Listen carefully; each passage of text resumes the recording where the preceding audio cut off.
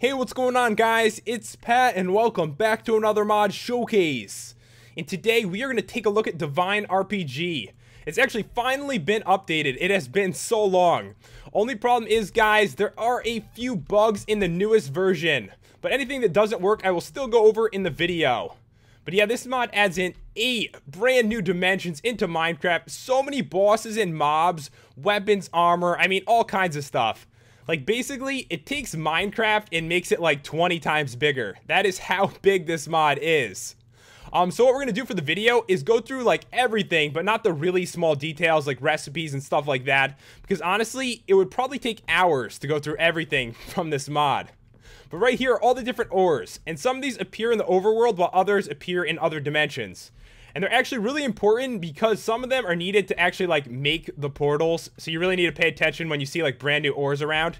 And yeah, this mod is not just for like adventuring, it is for builders as well. I mean, there are so many cool blocks. Like I put them all out over here. Like there's tons of bricks, tons of lamps. I mean, these look pretty awesome too. Like every single one looks better than a redstone lamp. Like there is so much variety for building. It's actually pretty crazy. Like here's some glass, fences over here. And one of the weird things is there are a lot of pumpkins. Like, these are the pumpkins, like a creeper pumpkin, skeleton, um, spider, ghast. This one kind of freaks me out for some reason. And this, like, giant eye right here. So, yeah, there's a lot of different stuff you can mess around with. There's even, like, different colored torches. And even, like, um, different bookcase right here. So yeah, if you like building, you're actually going to enjoy this. Even if you don't like adventuring too much, it definitely will make you want to go adventuring just so you can get some of these cool items. But first thing we're going to look at is the weapons. And yeah, there's a lot of melee weapons, as you could tell right here. Huge variety. All these are craftable. Guys, I would really recommend getting not enough items because if you don't have it, you're really going to struggle making anything in the mod. And I said they're all craftable. There's actually a couple that aren't. I believe the Sand Slash drops off one of the bosses. I think a couple do. And most of these you can actually craft. And um, some of them you can even color. You see right here, like yellow Ender Sword, red Ender Sword. You can actually like change the color of these, which is pretty cool. And yeah, they actually look really awesome. There's like the Molten Sword, Dravite Blade, Crab Claw Maul, Crab Anchor, Corrupted Maul. So yeah, definitely some cool stuff. And every single one looks pretty awesome. They even got like pink ones, you know. I mean, my girlfriend, she would love the ones like that. I'm pretty sure she would pick that over a stronger one anyway. But yeah, there's some awesome stuff here. I'm not going to go through every single one, but I'm just showing you guys what they look like. So let's grab some of these weapons. The first one, the Halite Blade, is the strongest melee weapon in this mod. I mean, that is freaking powerful. 90 attack damage. The next one we're going to test out, the Inferno Sword. Burns targets for 12 seconds. And this one right here, the Frozen Maul, has unlimited uses. You're going to notice this on some of the armor and weapons. You know, it lasts forever, but the recipe tends to reflect that, and usually they're really hard to make. It also slows the target on hit. Yeah, a lot of stuff actually has like special effects, which makes the mod so much cooler. I mean, weapons are kind of boring when they just do more damage and don't do something like special. But yeah, we've got some pretty cool weapons, but now, time to go through some of the ranged ones. And I think there's even more ranged in melee. And I actually like that because ranged weapons are usually so cool. And the variety is definitely here. I mean, there's like books you can attack with. Um, there's cannons, phasers. There's even like harps. Got like the bard thing going on. It's kind of cool. And right here, there's like the serenade of strikes. You're going to grab this one. Lightning damage. And these right here are the strongest slicers. You kind of just like throw them. They're pretty cool. And yeah, right here, like Frost Claw Cannon, Icicle Bow. There's just so much stuff. I just can't go through everything. But yeah, there's a lot of cool weapons. Like, you're never going to not have something new to get. There's just so much stuff to, like, collect as you're going through the mod. And now there is a lot of armor, but there's also some tools as well. There's the Rupee set, Arlemite, all kinds of stuff. I mean, and there's even, like, a special kind as well called the Shickaxe. And what this does, it, like, combines all the tools into one. Like, it saves some inventory space, so you don't need to have like every single tool in your inventory at the same time, which is nice. And right here is the armor. Needs two chests. That's how much there is. Like so many sets. There's Halite, Realmite, all kinds of stuff. And I believe that these used to actually have special effects. And I did mention there are some bugs in the mod. And right now I've tested them and they don't seem to have them anymore. They're probably going to get to fixing that really soon. So let's grab something pretty strong because we're going to test out some stuff against mobs. Let's. I'm thinking Halite. Halite is really powerful. I think it's the strongest armor in the mod, so we'll grab that because I don't really feel like getting myself killed right away. And yeah, some of these actually look really cool too. I like like the Inferno set. And a second chest. So yeah, you'll never really run out. But yeah, there is a lot of different armor you can choose from. So what we're going to do is put this on. See how I look. Oh, I look freaking awesome, don't I? Especially with the weapon in my hand. I'm like a green king or something. I look amazing, except I can't see. But I, I guess I don't care. When you're this powerful, you don't need to see. So what we're going to do is fight some mobs that um, spawn around. Apparently, there's a Cyclops right on top of the portal. So we will have to fight him. And as I mentioned, there are some bugs, and one is with this dude. Like, these dudes are all over the place, but he's not aggressive towards you normally, which is fine, because he's not attacking me right now. But even if I hit him, he will not fight back. It's kind of sad. So come down. What are you doing up there anyway? Come down. Come down. Just reached him. And yeah, it does a lot of damage with this weapon. And he's just a normal mob, 400 health. Giant eye. It's, it's freaking scary. This is just a regular mob. And sometimes they spawn in groups as well, meaning you're gonna die if you start a new world and you see a couple of these dudes, he'll just like instantly kill you. Inferno Sword, he is now on fire. And we also have the Frozen Maul. And I actually think it puts slowness on me instead. It did, didn't it? Yeah, I have slowness on myself. So as I mentioned, yeah, there's some bugs that they're trying to like fix right now. Probably don't want to put slowness on yourself at any point in time. It's alright. Let me kill this dude. And he's the only one I noticed in the overworld that actually doesn't attack, so um, it shouldn't make too much of a difference when you're playing. So now we're going to spawn in this dude, the Arid Warrior. He's got 100 health, and he attacks extremely quickly with range, a half a heart of damage each time. Just show you guys right here. I mean, you could easily be killed, and keep in mind, I actually have the best armor in the whole game. So if you don't have that on, you're going to have to run from this dude. So if I throw one of these at him, the Halite Slicer, they're really powerful, 42 damage, but keep in mind, they actually drop off a boss, so you can't really get your hands on these too easily. Try this one. Yes, lightning. That is a sick move. So we have killed him. Hopefully his loot wasn't lost in that. I think it was, actually. Might have to kill another. Alright, let's spawn in one more just to see what he drops. You're gonna see these dudes in the desert, like, all the time. Very common mob. Alright, he's dead. And he actually dropped... Oh, some sandstone and some red wool. So, kinda cool. Easy way to get red wool, definitely. And the next one, the Desert Crawler. You can see these dudes all the time in the desert too. They have 70 health. Hit me one time. Oh my god, that is powerful. Yeah, run away from these things. They are extremely powerful. That was a lot of damage. It did like freaking three or four hearts on me with the best armor in the game on. Not only that, I'm actually... Oh, I'm on hard. I thought I was on easy. No wonder. That scared me for a second. I was like, oh my god, those things would be really hard to kill in a group. Alright guys, before we get into the different dimensions and bosses, I just wanted to show you there is actually a ton of food with this mod too.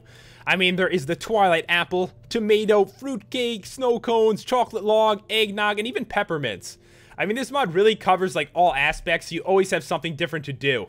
But now it is time for the bosses. Best part right here. And yeah, the first one you're going to fight is going to be the Watcher and also the Ancient Entity, which is the only one I've noticed that is actually glitched right now. When you try to spawn him in, it just crashes your Minecraft. But I can show you guys the Watcher. I definitely can. And yeah, normally he's only supposed to be able to spawn in the nether, but I can actually spawn him here. And this dude is pretty freaky looking. He's like a giant eye. I mean, fly into the air. What are you doing on the ground? I've never seen you standing before. Get into the air. There we go. That was so weird. I've never seen him like sitting on the ground before. But yeah, it's definitely a tough fight, and I'm not going to be fighting all the bosses in the review, basically because it would take so long. Actually, remember when I did a full playthrough of Divine RPG, one of the boss fights took me like 45 minutes. And it was a flying one. The flying ones take forever. But yeah, I'm pretty sure he has like explosive attacks and shoots stuff at you. It's actually really difficult. And you have to fight him. Because he drops the blocks for the first portal to the next dimension. And so does the Ancient Entity, but right now that is bugged. Hopefully they will fix that very soon. Alright, this one right here is the Horde Horn. And this one actually summons a boss in the end, which is very cool. There's actually another boss you can fight in the end. And right here are a bunch more bosses, all like different ones from different dimensions. And I'm pretty sure I could show you guys every single one of these right now. And yeah, he's just to continue to fly around.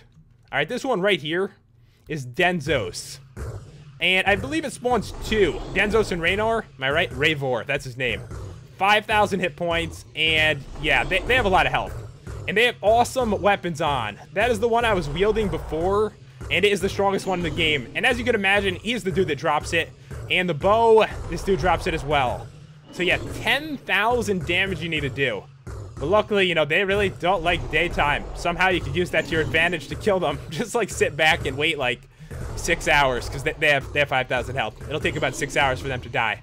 But yeah, very powerful bosses. Next one is Karot. And this one is like a giant bunny, I believe. Yeah. And when you fight it, it actually spawns in like evil bunny things to attack you. See if it actually does it right now while I'm in creative. Do you spawn any? Not right now. Oh, there it is. It is an angry bunny. They have 60 health. So yeah, it's constantly spawning those, making this battle like so much harder. These dudes, they don't do anything special. He shoots at you from range while the other dude, you know, attacks you with melee. All right, the Twilight Demon. Oh, this dude, um, he is not easy. He has 6,800 health. Of course, he's on fire. Probably, I'm going to switch it to night just because it is pretty ridiculous right here. All right, guys, so I had to switch it to nighttime so you can actually see this dude. Um, he is pretty crazy. I think those are your eyes, are they? Are, th are those your eyes? They are freaking scary looking.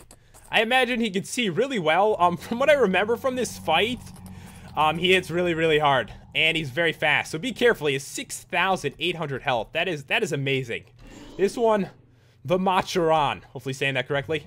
And yeah, it doesn't look that intimidating. It's actually like a unicorn with two heads. You're going to see a mob that's really similar to this really soon when we go into the dimensions. And the next one, the Soul Fiend. This one right here, it has 5,800. And yeah, I really like the models. They're really interesting looking, and this dude is really fast. And it looks like Kara has given birth to many very small versions of itself over here. This is the Infernal Flame, and it spawns the King of Scorchers, one of the toughest bosses in this mod. And yeah, I don't know if those are faces, but he is freaking intimidating looking. And um, from what I remember fighting him, he shoots like these explosive attacks that you do so much damage. Even with the best armor in the game, like, um, he'll kill you in like two hits. You really need to be careful. Keep in mind, when downloading this mod, guys, it is extremely challenging. If you love a challenge, though, you're really going to enjoy it. And by the way, this is like the enchantment table for the mod. It's just like a special one. So you can use this. It doesn't need to have books around it, which is always nice. And now we're going to head into the dimensions. But before you do, you need to make the Twilight Clock. This is how you light the portal. And the recipe is a bunch of clocks. And that's probably like the only recipe I'm going to show you guys. It's just so important. I figured I should mention it. But yeah, let's jump in. And this right here is the Dravite Hills. It actually seems kind of peaceful, kind of a nice place here. Um, those dudes, they actually, in my opinion, they actually look like the skinny version of, you know, Majin Buu when he's in that form. It looks just like him to me, kind of. Looks pretty funny. Um, but right here is a bunny, and you can actually tame these. Can have a pet. All you need are Dravite Sparkles. I'm pretty sure you get them from the ore. Um, you can actually see some of the ore right there. It's pretty cool looking. And yeah, you can tame them. All you have to do is feed it to him. Come here. Wants to be my pet. Your head is stuck in the block. Are you alright? You can see by his eyes that he's tamed. And what we can do is try to fight a mob. Will you help fight this other bunny? No? Alright. Let me try this. Come here. I'm kind of afraid that I'm going to have to switch into um, survival for this to actually work. I am so going to regret this. Am I to get knocked off? I got to be careful. I might get knocked off this entire place. Maybe there's a better spot to do this. Let's look around. But yeah, there's lots of bunnies around this area. And they will, like, teleport towards you if you're far away. And you are to see there is another mob here as well. Yeah, this dude. I showed you the, like, leader before, but this is the Cadillion. I consider him, like, a very sad unicorn. Because his horn is crooked. That's probably why he has that sad face, I'd imagine. So let's see. I'm going to tame you. You're right next to this. Okay, and kill it for me. Attack it. Do I need to be in survival? Yeah, I do. All right. So we're trying this out in survival. I'm to go up here. I think it's safer. All right. I am so to regret this. I'm to get knocked off the side and die, but um, we'll see what happens. Kill it. This is so cool, though. When he attacks, he turns, like, awesome. Come on, knock it towards him. Get him. There he goes. He turns into an angry bunny. And he seems to be chasing me. Don't be... Are you chasing me? I thought you were my... I thought we were friends. I, I thought we were friends. You're my pet. What are you doing? Why are you doing this? Alright, so yeah, we are going to switch into Peaceful. As I mentioned, a couple things are not perfect at the moment, and that definitely is one. But yeah, there are quite a few different pets you can actually tame, and that's one of them. So let's see. I need to make my way back to my portal. I don't want to get lost here. But yeah, a lot of the mobs, actually, their models get reused, so you're going to see them again, but like in a different color, in a different dimension. And what you do in these dimensions is you kill the mobs, they drop stuff, which you need to actually make the blocks for the next portal. You could also get the same stuff from mining as well. So yeah, there's a lot of stuff to really do in like every single spot. So we are out. So let's get into the next dimension. Here we go. So this one right here is the Uvite dimension. It's like a purple color. It's really similar, you know, to the other dimension. They all really look like this with like different trees and different colors, but it looks pretty cool. And yeah, this guy looks familiar, doesn't he? It is the Cadillion, but now he's more powerful than ever with 400 health. But if you look over here, there's some different ones. Like this dude right here is a Twilight Archer. He's got 430 health. And this guy is crazy looking. He's got like weird like side horns or something. The Enchant Warrior has a pretty awesome weapon as well. And yeah, same thing in here. You need to kill these mobs to get the materials to make the next portal and, you know, to actually fight the next boss as well. Like a lot of this stuff you need to kill to get the materials for the boss spawner. Alright, so we'll leave this dimension and head to the next one. And here we go. So this one right here, um, this one's kind of annoying from what I remember. Um, it is the mithril dimension. So yeah, lags a little too. I think it's because, you know, there's so many islands. The whole place is like filled with islands that go really high up and really far down. As you can see right here, I kind of like how the portal is pink and everything else is depressing. I'm actually a little sad just being here, but um, there's some pretty cool mobs. This is the mithril golem. He's got like three faces. I don't know if those are eyes. And that thing just stared at me. What the hell are you? This is the mithril fiend. 800 health. I see that their healths are a little messed up. And there's another dude right here. Actually, I think it's a lady. You can tell by her eyes. And yeah, she looks pretty funny. She's got two heads, 300 health. Um, there is another mob that spawns here. Oh, I can see it. It's right over there. All right, that one is like the most annoying mob ever. It is the Corey. They shoot at you and they fly around so much, it's like impossible to target them. And they do so much damage. Like even with really good gear on, they are really annoying. And there is an archer here as well, as you can see. And yeah, this is all islands. It's pretty crazy. But we are going to leave, and I'll show you guys some more dimensions. But same thing here. You kill the mobs and get the stuff for the bosses and also for the next portal. All right, this one is a little more buggy. So I need to actually put it on peaceful. And it is because the mobs tend to crash it. I'm not sure why, but I'm still going to show you guys it anyway.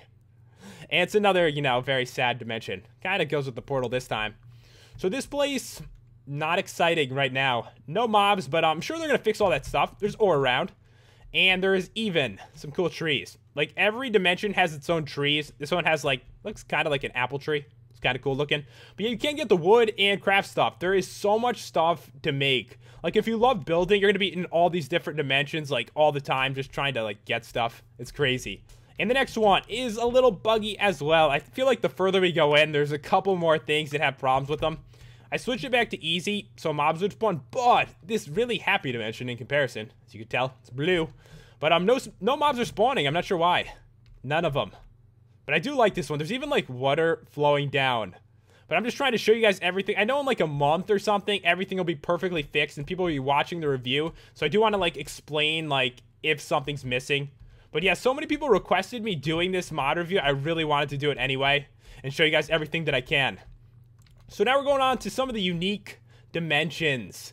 This one is the Iceika one. They actually switched the portal. It used to be made out of um, snow blocks. They changed it. And this place is really messed up at the moment. It's actually just ice. It's weird. Like, it's only ice at the moment. But I will explain to you what is supposed to be here. There's like no surface or anything too. It's really, it's really freaking weird. Um, but yeah, there's supposed to be dungeons down here. You're supposed to spawn like, you know, underneath the ground. And the dungeons will have like a spawner in them. Right now, there's just ice everywhere. And there'll be a chest. And you need to try to get to that chest because it has a snowflake, I think, in it. And it's used as currency for like weapons and stuff. Because there's merchants on the surface and buildings and stuff where you can buy it. So it's pretty cool.